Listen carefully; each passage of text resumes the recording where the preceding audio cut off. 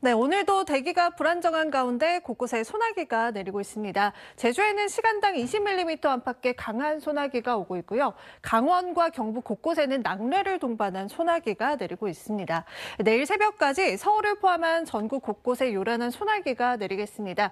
특히 경기 북부와 영서 북부에는 최고 60mm 이상 강하게 내릴 것으로 보여서 주의하셔야겠습니다.